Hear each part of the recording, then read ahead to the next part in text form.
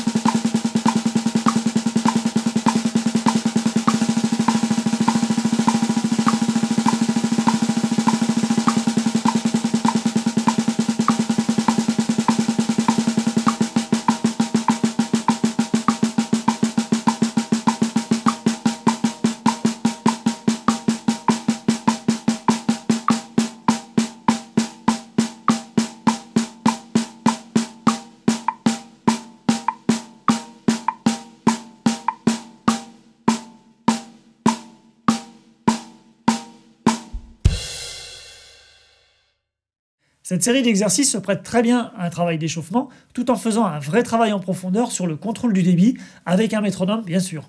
Pour ceux qui sont à l'aise avec toutes ces formules, pourquoi ne pas ajouter un petit ostinato de pied pour corser l'affaire, comme vous pouvez le voir dans les deux démos de la vidéo. Je le répète souvent, mais la vitesse d'exécution n'est pas la priorité. Focalisez-vous d'abord sur le passage d'un débit à l'autre.